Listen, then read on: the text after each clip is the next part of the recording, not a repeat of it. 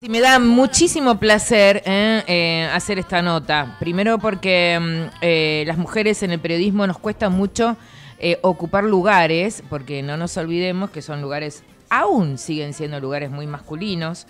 Em, y la verdad, ver una corresponsal en Gaza me parece sumamente interesante.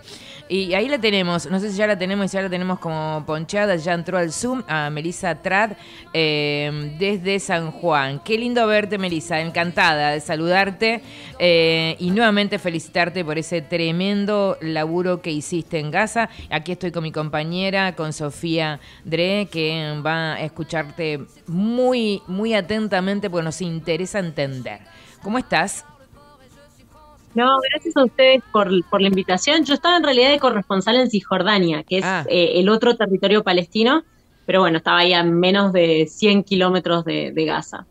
Bueno, eh, Melissa, vamos a poner primero un poquito en contexto y después, la verdad que me encantaría, no sé si tenés tiempo, pero poder explayarnos en esta nota para, para poder entender.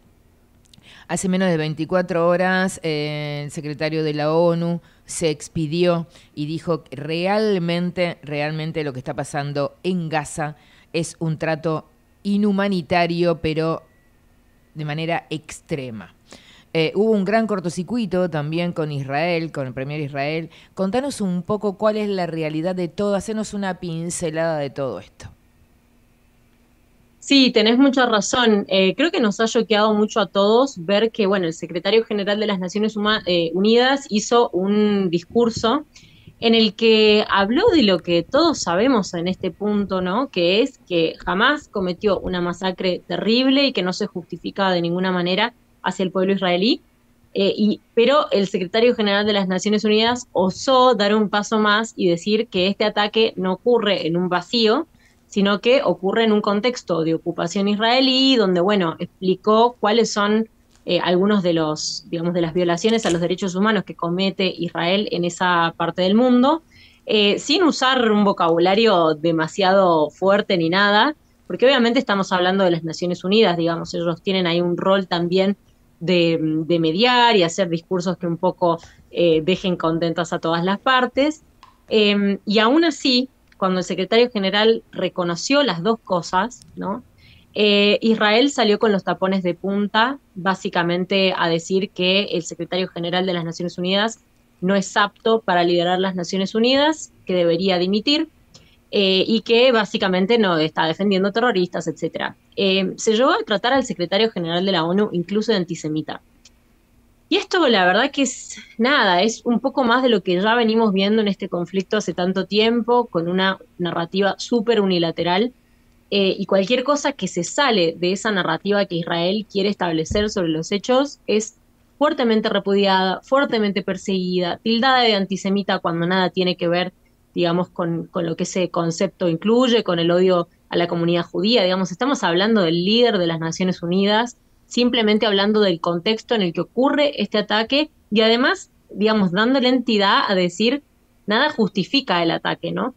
Y sinceramente a mí como periodista lo que me pasa después de ver esas cosas es que yo digo, si el secretario general de las Naciones Unidas no puede opinar, si inmediatamente sale todo el mundo a pegarle, a pedirle la renuncia, etcétera, cuando el tipo lo único que hace es dar el contexto de lo que ocurrió, ¿qué queda para el resto? O sea, ¿qué queda para los que trabajamos en estas cosas y a los cinco minutos somos tildados de una u otra cosa simplemente por querer contar la verdad? Porque la verdad es que lo que pasa es, eh, no sé, a mí me ha pasado estar en muchas notas donde yo lo que veo son corresponsales argentinos que llegaron hace cinco minutos eh, a la región y cubren solamente lo que sucede del lado israelí. Yo estuve siete meses cubriendo la región desde Palestina y les puedo decir que había muchas otras cosas, eh, digamos, de las cuales estos medios no, no, no quieren hablar y que lamentablemente, como dijo el secretario general de las Naciones Unidas, nada justifica el ataque horrorífico a civiles eh, como el que hizo Hamas y nada justifica tampoco los crímenes de guerra que está cometiendo Israel hacia la población civil, un castigo colectivo hacia hacia el pueblo palestino. Pero necesitamos hablar de todo lo que pasa porque si no, digamos, no, no, hay paz posible, ¿no? Si uno no entiende el contexto de lo que sucedió. Vos sabés que escuchándote, clarísimo, eh, estamos hablando con la periodista Melissa Tratt, que además, bueno, se viralizó mucho un cruce en La Nación Más, eh, en donde Novarecio, en un acto de absoluto vedetismo, se levantó de la nota eh, y dijo que no quería hablar ni de dictadura ni de otras cuestiones más, y sin embargo, cuando se sentó con Villarroel, eh, la, vicepresidenta de, la, la, pareja de Miley, a vicepresidenta, no se levantó. Pero bueno, más allá de eso, eh, Plager también con una actitud muy defensiva de, del tema con respecto a Israel, ¿no? desde el lugar. Y yo digo que... Como que te muestran una, un recorte, ¿no? un recorte, y no solamente eso, sino que... A lo que dice Que aprendí con, escuchándote... Eh, y entendiendo y leyendo un poco, que ahora vamos a profundizarnos para que nos cuente con la docencia que hiciste el otro día en otra nota, eh, que no se puede argentinizar un tema, ¿no? Eh, poniéndolo desde un lugar. Eso es mi mirada. Sino que realmente lo que vos planteás. Ahora, podemos hacer un poco de, no te digo que de revisionismo histórico, pero que nos trates de explicar cuál es la situación por la cual hoy está así tanto Gaza como Israel. ¿Qué es lo que sucede? ¿Cuál es el marco histórico, político y socioeconómico? Y si está metida la religión, como que es real o no es real, o sea, ¿cuánto tiene que ver la religión en este conflicto? Sí, totalmente. Bueno, son preguntas que nos tenemos que hacer cuando, cuando vemos este tipo de cosas. Vamos a tratar de resumir. Eh, no, tenés todo el tiempo del mundo, no te hagas problema. Tenés todo el tiempo del mundo. Porque, total, si tenemos que mirar la política, la miramos en un rato, la miramos en alguna que otra telenovela más tarde. Así que vayamos a lo importante y hoy lo importante es tu nota. Así que tranquila, tenés todo el tiempo. Bueno, muchas, muchas gracias por, ese espacio. Eh, si simplificamos un poco la historia del conflicto, hay que entender que básicamente, o sea, obviamente uno podría empezar en cualquier momento, porque también muchas de las poblaciones que hoy quieren ocupar este territorio em, argumentan que hay razones bíblicas, que sus ancestros hace miles de años vivían en ese lugar. Pero para mí, para empezar, para simplificar el conflicto y para entender lo que está pasando, lo importante es entender, em, este fue un lugar que estuvo bajo muchos imperios, eh, estuvo bajo el imperio otomano, y eh, cuando estaba bajo ese imperio, lo que podemos decir es que había una población que era mayoritariamente árabe, no existía ningún Estado todavía, ¿no? No, existía ni el Estado de Israel, no existía un Estado de Palestina. ¿En qué tiempo estamos hablando? Del mundo, ¿De, de, qué tiempo estamos hablando? ¿Finales del 1900 o principio del 1900? Bueno, el Imperio Otomano fue muy largo, así que fueron cientos de años, pero para empezar esta historia nos vamos a ubicar en el fines del 1800. Bien. Ahí lo que había era el Imperio Otomano reglaba ese lugar, una región que algunos llamaban Palestina, otra otros llamaban Eretz Israel, otros llamaban, eh, los cristianos llaman eh, Tierra Santa, digamos, cada uno tenía un nombre distinto. La realidad es, era un territorio que estaba bajo el Imperio Otomano y cuya población era mayoritariamente árabe, ¿sí? La población judía era una población de un, eh, no tengo el número exacto en este momento, pero habrá sido un 6%, 8%, no era más que eso. Lo que empezamos a ver a fines del 1800 y principios del 1900 es una inmigración de eh, población judía a este territorio, ¿no? Y después lo que pasa es, eh, se cae el imperio otomano, queda esta región en manos de un mandato británico, estas poblaciones coexistían, pero de nuevo era un lugar donde mayoritariamente había árabes y la comunidad judía era muchísimo más pequeña. Y lo que pasa después es lo que todos conocemos, el horror del holocausto, ¿no? Em, cientos y miles de personas eh, judías que estaban siendo perseguidas. Y entonces se decide que em, aquellos que pensaban que había una necesidad de crear un hogar, un Estado para el pueblo judío y que esa era la única forma de terminar con la persecución, lo que ellos entendieron ahí es que este era el lugar, ¿no? Donde había que crear ese Estado judío. Eh, ¿Quiénes son ellos que entendieron así y quiénes son eh, también quienes le dijeron, bueno, te damos este, este espacio, esta tierra es tuya? ¿Quiénes son? Bueno, em, eh, digamos, podríamos hablar de que todo empieza con el sionismo. El sionismo es, este, esta ideología que justamente plantea que es necesario un Estado para el pueblo judío.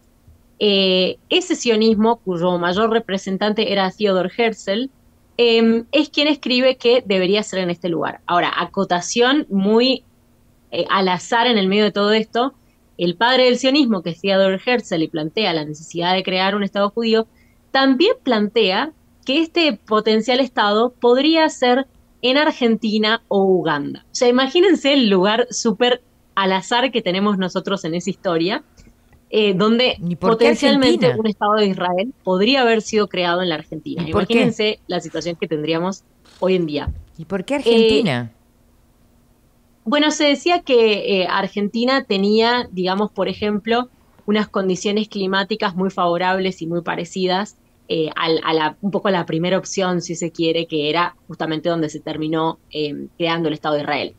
Ellos sí tenían una conexión mucho más fuerte y ancestral con la tierra donde se terminó creando el Estado de Israel, mucho más que lo que hubiese sido si eso hubiese sucedido en la Argentina, por ejemplo. lo que sucedió es que básicamente eh, el mundo, después del horror del holocausto, entiende que necesita de alguna manera responderle a esta comunidad que ha sido perseguida, ¿no? Repararla. Ahí es cuando... Repararla, digo, de alguna manera, de ese daño.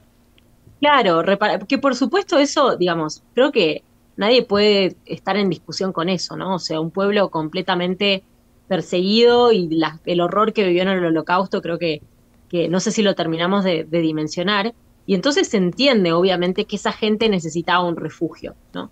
El problema es que los británicos, que eran quienes estaban ahora a cargo de esta región, son quienes le prometen a la comunidad judía que van, digamos, que se va a crear un hogar para el pueblo judío en este lugar de la tierra, es decir, donde hoy se ha creado el Estado de Israel y donde estaban todos estos árabes.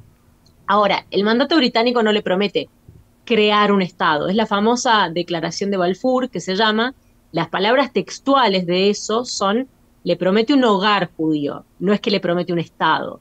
Y esa misma carta lo que dice es que siempre y cuando también se tengan en consideración las necesidades de la población local, que era una población árabe en su mayoría. Ahora, después de eso, después de esa promesa, la ONU hace un plan de partición. Dice, bueno, este territorio lo vamos a dividir en dos un Estado árabe y un Estado judío. Esa división ya no era ni siquiera 50 y 50%. Cuando uno ve el mapa de esa época del plan de partición de las Naciones Unidas, se le ofrecía un poquito más de territorio en términos porcentuales eh, a la población judía.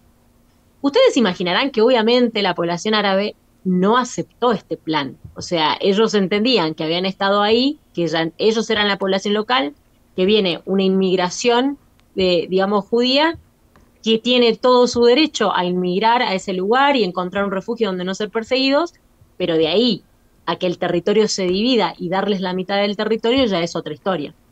Entonces, por supuesto que los árabes no lo aceptan, empieza una tensión muy fuerte. Cuando se acaba el mandato británico, Israel, em, al poco tiempo de este plan de partición, Israel declara unilateralmente la creación de su Estado. ¿no? Y ahí comienza la primera guerra árabe-israelí, porque los árabes claramente no querían que se conformara un Estado judío. Año. Eh, y lo veían como.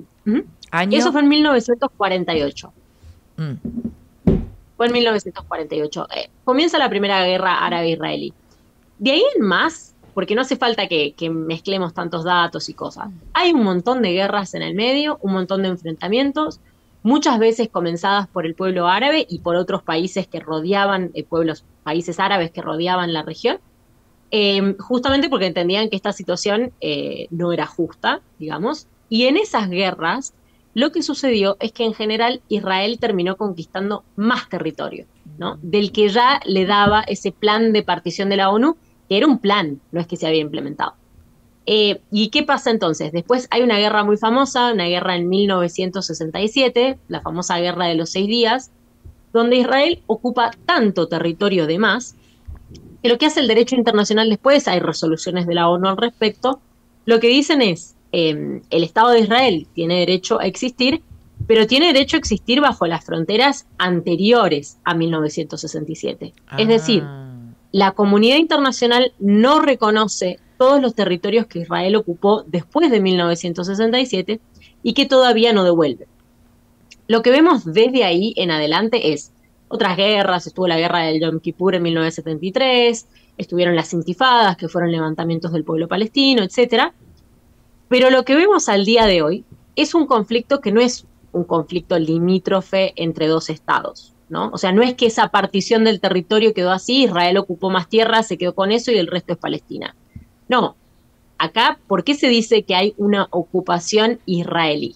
Primero porque no hay un reconocimiento total del Estado palestino, ese territorio es un territorio ambiguo, digamos, que hay países que sí reconocen como un Estado y otros que no, eh, pero lo que hay es básicamente eh, una autoridad israelí que es quien determina cómo se viven todos estos territorios. Si bien existe eh, la autoridad palestina, se le llama a quienes gobiernan solo Cisjordania, de hecho, porque la autoridad palestina no tiene control sobre lo que sucede en la franja de Gaza, sí lo tiene jamás, y por eso, bueno, también hemos visto lo que hemos visto.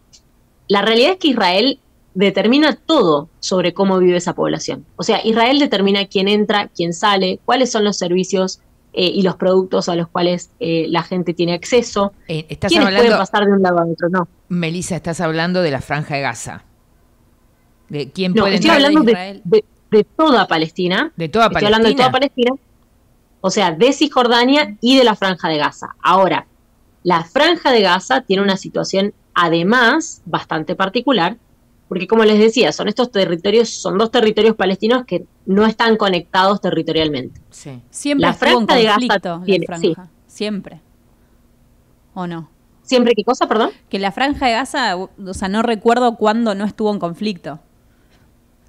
Sí, siempre ha sido una de las situaciones más complejas porque también hay que entender que la franja de Gaza es un territorio de 40 kilómetros por 10 donde viven más de 2 millones de personas. O sea, es uno de los lugares del mundo más densamente poblados y se lo conoce como la cárcel a cielo abierto más grande del mundo. Em, Israel ocupó ese territorio, o sea, estuvo en la franja de Gaza, hubo muchas guerras a lo largo del tiempo, se retiró, pero a mí en muchas de las notas, eh, digamos, usan ese argumento de que Israel se retiró de la franja de Gaza para decir que no hay ocupación. Eso no es cierto. Se retiró, digamos, eh, sí, no hay israelíes viviendo en la franja de Gaza, pero Israel bloquea toda la franja de Gaza. O sea, hay, un muro, hay vallas, la gente no puede entrar y salir. Solamente algunos tienen permisos para trabajar en Israel, porque son mano de obra barata en Israel, básicamente. Em, pero es un territorio bloqueado, bloqueado por Israel. Y eso implica mucha mayor restricción de qué es lo que entra, qué es lo que sale, quiénes entran y quiénes salen. Por lo tanto, nada, las oportunidades laborales para la gente son básicamente nulas. El acceso, por ejemplo, a um, agua potable es mucho menor por día de lo que establece la Organización Mundial de la Salud, que son estándares básicos para la vida digna. Todo esto antes del ataque de Hamas a, Israel, ¿no?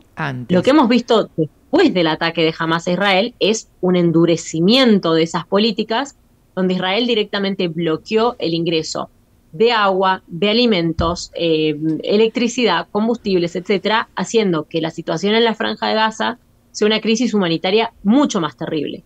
Pero hoy en día, de todas maneras, y a eso iba un poco con este concepto de la ocupación, Israel determina todo lo que sucede en estos territorios, le delega a los líderes palestinos algunas cuestiones, como para no tener que hacerse cargo, pero no es una entidad separada, o sea, controlan muchísimo del territorio en Cisjordania y además lo que tenés es un agregado, que, digamos, un obstáculo terrible para la paz, que son los asentamientos israelíes, que significa que, además de esta división de territorio que yo les contaba al principio, de la franja de Gaza, en el medio Israel y después Cisjordania, al interior del territorio palestino, muchas veces cuando vemos un mapa del lugar, vemos un mapa donde, donde dice Palestina, donde dice Cisjordania, vemos manchitas. Esas manchitas en el mapa son asentamientos israelíes. Los asentamientos israelíes son básicamente una especie de barrios o ciudades en territorio palestino que son ocupados por eh, israelíes que creen que esa es una tierra que eh, religiosamente, digamos, les pertenece. Estos asentamientos son ilegales bajo el derecho internacional el problema es que imagínense ustedes que en el gobierno actual de Israel, que es una coalición de extrema derecha, existen funcionarios que son ellos mismos colonos israelíes de esos asentamientos. Eh, en esos asentamientos hay mucha violencia alrededor, digamos, hacia la población palestina. Hay palestinos que también han querido hacer ataques eh, en esos asentamientos. Para que ustedes vean la situación eh, que acusan, muchas organizaciones de derechos humanos en el mundo acusan a Israel de implementar un sistema de apartheid. Para que ustedes vean hasta qué punto esto es real, esos asentamientos israelíes que están en territorio palestino tienen, por ejemplo, calles que solamente pueden usar israelíes, esas calles no las pueden usar los palestinos. Son asentamientos que están cercados, no es que tienen, no es que están en el medio o tienen un vecino palestino, digamos, pero están muy cerca a veces de pueblos palestinos. Em, y están fuertemente militarizados, el gobierno israelí les provee seguridad y además, a pesar de estar en el mismo territorio que, el resto de los palestinos, digamos, los, la par, digamos, no es el mismo gobierno el que gobierna los asentamientos que el que gobierna el resto de ese territorio palestino. Esta parte es un poco compleja, pero un poco demuestra por qué hay un sistema de apartheid en ese lugar y por qué la ocupación, de nuevo, no es un conflicto entre dos países que tienen problemas en la frontera, sino que realmente es un pueblo que ocupa al otro y que decide cómo se vive. O sea, Israel decide cómo se vive en Palestina y uno como turista lo ve de manera muy fácil, o sea, uno para entrar, uno para llegar a Palestina necesita el permiso de Israel. Uno no puede entrar a Palestina sin el permiso de Israel. Y eso para mí ya es un ejemplo muy tangible de cómo, bueno, no estamos hablando de dos entidades separadas. ¿no? Eh, eh, acá, eh, Sofi, mi compa, te quiere hacer una pregunta, Melissa. Melissa, ¿qué tal? Sofía es mi nombre. realmente te haría muchas preguntas, pero bueno, no puedo todo a la vez. Pero vos recién contabas que, estuviste, bueno, siete meses que en, territorio palestino, en Cisjordania y demás. ¿Qué cosas, digo, te, te lo pregunto te, impactaron, te llamaron la atención? ¿Cómo se vive? ¿Cómo ves a la gente? Digo, es mucho tiempo, siete meses. Sí, eh, vos sabés que yo la primera vez que fui a la región fue hace ocho años. Mira. Em, hice un viaje por Medio Oriente. Yo había ya estudiado un poco este conflicto, porque yo soy periodista, pero me especializada en, política internacional, en seguridad internacional. Entonces, bueno, ya había estudiado este conflicto, ya creía que entendía lo que sucedía en el lugar. Y lo que me pasó fue que llegar fue un cachetazo. Eh, fue un cachetazo porque entendí que hay cosas que uno no entiende simplemente cuando lee. O sea, uno puede entender la división del territorio, uno puede entender cuáles son los acuerdos que se hicieron, cuáles fueron los momentos en los que se estuvo más cerca de la paz, pero uno, digamos, las cosas que uno ve en el terreno son muy distintas de todo eso que uno lee. Y yo creo que si hay algo con lo que me quedé, de hecho, bueno, volví, volví el año pasado y después este año para, para hacer una cobertura mucho más amplia y, trabajar como corresponsable de ahí, porque yo veía una historia para contar, digamos, una historia que, que no estamos viendo en el mundo. Y todo esto antes del ataque de Hamas, porque a mí me agarró el ataque de Hamas estando ahí, de hecho, pero yo venía en ese lugar hace más o menos siete meses. Em, y lo que vi más que nada es es como lo que significa vivir bajo ocupación en el día a día, ¿no? Y eso no es solamente estos bombardeos que vemos a Gaza eh, en estos momentos de mucha violencia. Vivir bajo ocupación es vivir bajo una humillación constante todos los días de tu vida. Y eso es, creo que incluso es más profundo y es más doloroso que todo lo que es la falta de acceso a, a servicios básicos a veces, ¿no? Porque la gente nace, vive y muere en el medio de esa situación. Hay gente que no conoce otra cosa, digamos, no ha vivido otra cosa. En Cisjordania la situación es menos grave que la de Gaza, o sea, en Gaza realmente eso ya era una crisis humanitaria antes del ataque de Hamas y la respuesta de Israel bombardeando y cerrando todo. Eh, ya era una crisis tremenda, ahora es directamente inhumano lo que está sucediendo en Gaza. Pero en Cisjordania lo que les puedo decir es esa humillación de la que yo les hablo es, por ejemplo, uno, para salir de Cisjordania y llegar a Jerusalén, que en teoría es eh, una... Vos me preguntabas de la religión antes. Bueno, Jerusalén es uno de los grandes obstáculos, si se quiere, en, en la consecución de la paz, porque es una ciudad en la que hay eh, sitios muy importantes para el judaísmo, para el islam, para el cristianismo. Entonces, bueno, todo el mundo quiere esa porción de tierra. Internacionalmente se, se dijo que eso no podía ser de uno o de otro, tenía que haber o una administración internacional o un territorio dividido. Eh, Israel lo ocupó y Israel es quien regula lo que sucede en Jerusalén. Y entonces hay gente en Palestina, en Cisjordania, donde yo estaba, que quiere cruzar a Jerusalén, por ejemplo, para rezar, ¿no? Porque están sus sitios más sagrados ahí. O porque hay gente que nació en Jerusalén y fue desplazada de Jerusalén y vive hoy en Cisjordania.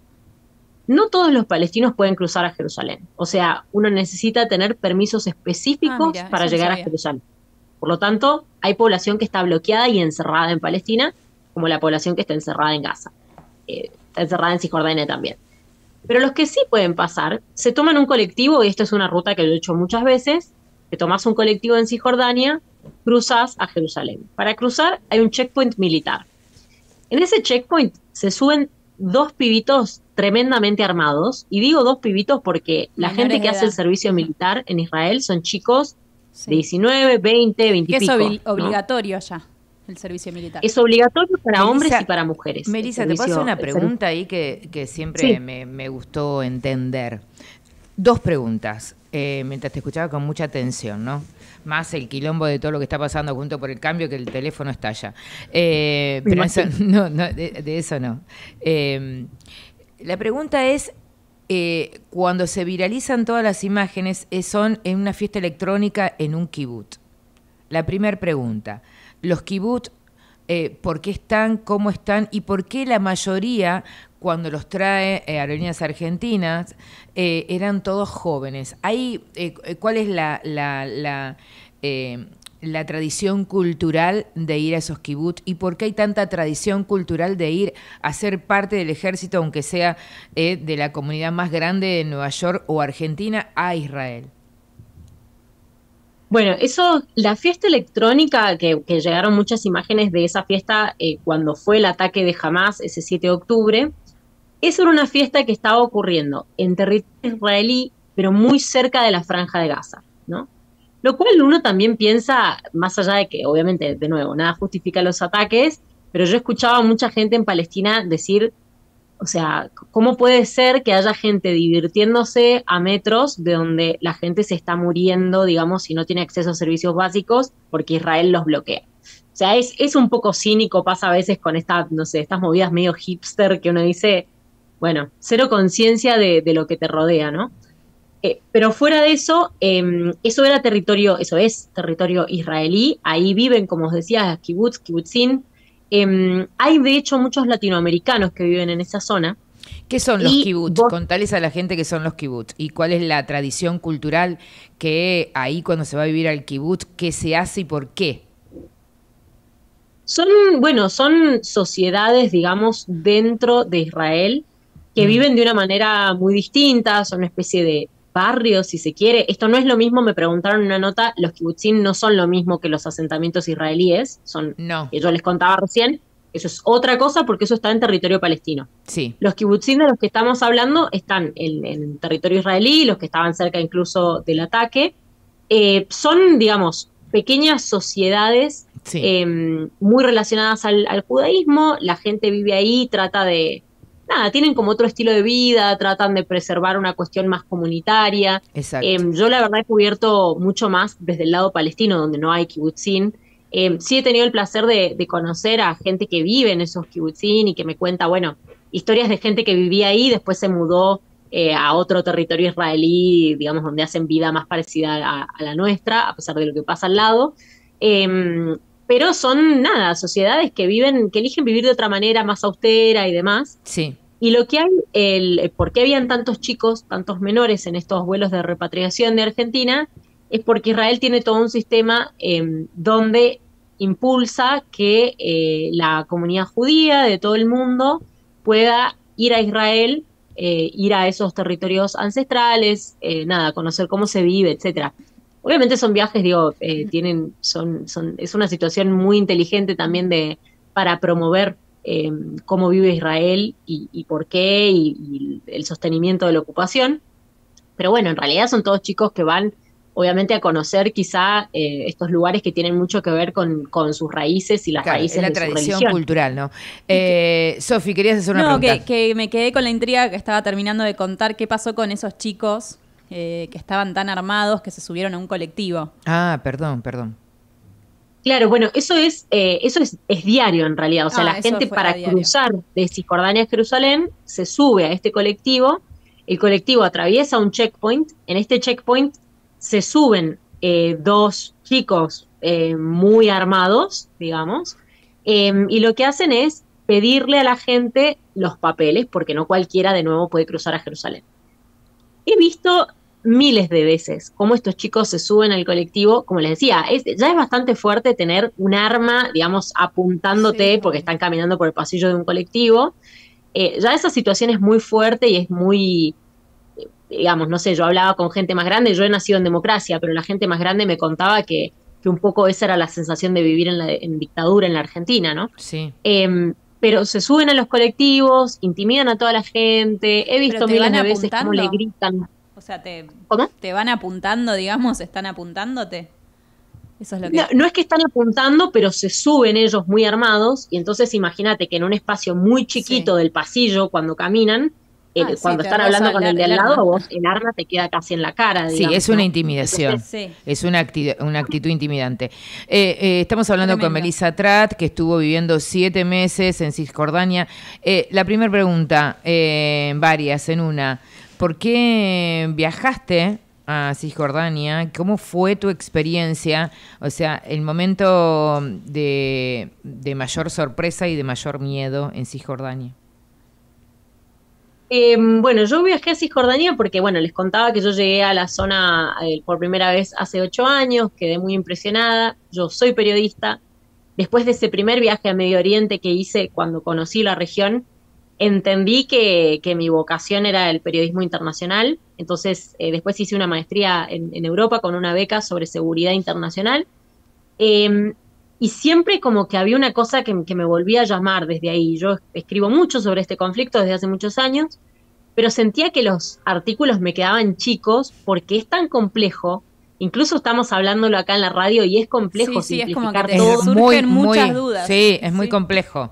Por eso digo que hay que tener, eh, eh, hay que tener respeto y llamar a las personas que saben y preguntar para entender. Sí, porque es, es, es, algo bastante complejo, hay mucha historia detrás. Em, y entonces me pasó que yo dije, bueno, estos artículos me están quedando chicos, yo quiero ir a este lugar, quiero hablar con la gente, quiero, quiero estar, quiero ver cómo se vive, quiero escribir más sobre esto. Me encantaría algún día en realidad poder escribir un libro un poco sobre esa historia, es, es un poco, eh, era un poco mi objetivo yendo ahí, porque bueno, hay muchas historias que contar antes del, ataque del, 7 de septiembre de Hamas. Eh, y así fue como llegué y así fue como también fui viendo la escalada en la, en la tensión que había en general entre las dos comunidades eh, y cómo después esto derivó en este ataque de, de Hamas a, la población israelí. Pero estaba por eso, para poder contar un poco ese lado de la historia, eh, y creo que en este momento fue, nada, fue realmente relevante para poder compartir a una comunidad hispanohablante qué es lo que se ve, porque lamentablemente en América Latina tenemos una narrativa muy unilateral, hay prácticamente nada de información en español sobre los eventos que ocurren a diario allá, digamos más allá de la historia del conflicto. Y lo que vemos ahora son todos corresponsales, al menos los de Argentina, que están del lado israelí, digamos. No hay, nadie que un poco te pueda contar en español lo que pasa del otro lado, que no es para nada negar el horror del ataque de Hamas al pueblo israelí, pero es dar el contexto que necesitamos para hablar de esto, ¿no? Sí, totalmente. El marco histórico, ¿no? todo, tiene una construcción histórica. Y por el otro lado, también eh, quería preguntarte mm, esto que te decía, ¿no? ¿En qué momento tuviste miedo y en qué momento dijiste, eh, ¿qué, hay, ¿qué hay de mística acá para vivir acá en Cisjordania o acá en Gaza? ¿Qué hay de mística? ¿Qué, qué sucede? Eh, eh, en esos pueblos para seguir peleando y peleando y peleando, ¿sí? ¿Qué, es lo que vibraste vos desde el otro lugar como Latinoamérica, como latinoamericana? Bueno, yo creo que hay mucho, nada, yo, eh, me parece que hay una empatía inevitable cuando uno viene de también de países, ¿no? Que, que hemos sufrido nuestra nuestra parte creo que hay una empatía inevitable cuando uno ve la situación de un pueblo que sufre una situación tan injusta, digamos. Em, y a mí, nada, me parece muy sorprendente esta cosa del, pueblo palestino de, resistir, de resistir a la ocupación, de entender que la situación que ellos viven no es justa. Hay muchísimas cosas que les podría contar, pero por ejemplo, muchas familias conservan todavía la llave de las casas de las que fueron desplazados cuando se creó el Estado de Israel Y esa llave para ellos es el símbolo del retorno, ¿no? De poder algún día volver a esas casas que les robaron. Eh, hay una frase que, las madres palestinas dicen mucho, que es, se lo llevaron amoblado. Significa que Israel no solamente se quedó con porciones de tierra, se quedó con sus casas amobladas como estaban, con la comida recién hecha, digamos, esa es la situación en la que fue desplazada el pueblo palestino. Y entonces, por supuesto, todas estas historias, viste, pasan de generación en generación.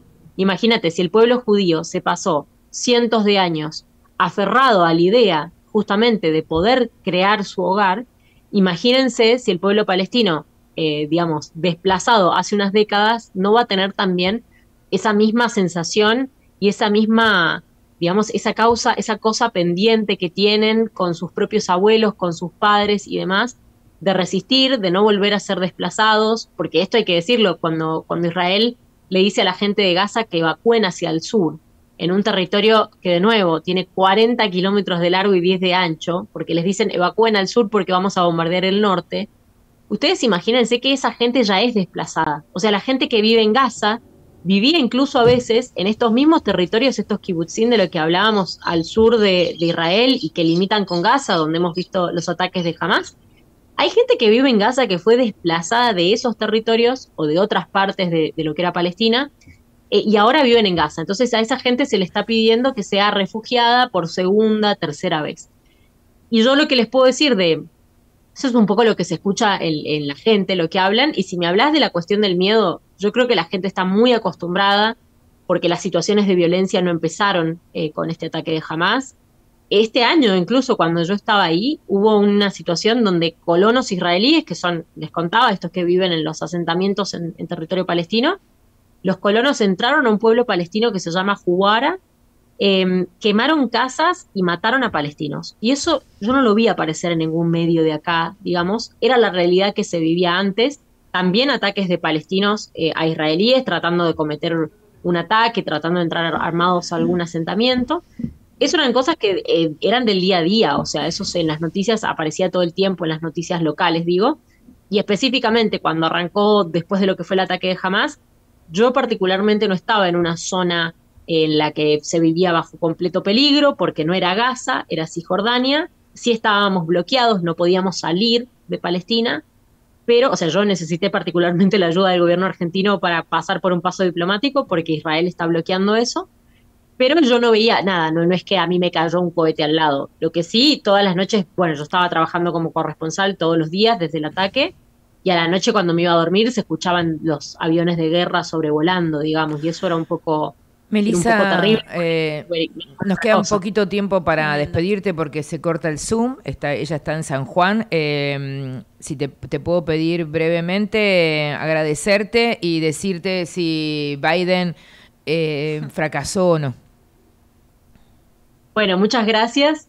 mira, si Biden fracasó o no, yo creo que todo está por verse. De todas maneras, Estados Unidos es el principal aliado de Israel, le envía billones de dólares por año para sostener la ocupación y en este momento lo que están haciendo es tratando de negociar probablemente eh, que Israel no haga esa invasión terrestre a Gaza tan rápido para ver si rescatan a los rehenes israelíes que están en Gaza. Pero Israel, eh, perdón, Estados Unidos, por ejemplo, ha bloqueado una resolución. Bueno, ahí se cortó el Zoom, eh, lo había dicho en la operación técnica, así que bueno, es más que suficiente y clara en la nota, sumamente interesante. Eh, Melissa eh, Trat, eh, periodista sanjuanina, no ha sido muy bien tratada en algunos medios nacionales, eh, pero bueno, la verdad que el profesionalismo y la información que tiene es muy, muy contundente. Eh, si podemos, después eh, la podemos saludar o agradecerle ya desde acá. Se había cortado el Zoom desde San Juan, estaba ella. Impresionante, ¿no? Sí, impresionante. A mí es un tema que me, genera mucho enigma, y me, interesa mucho entender.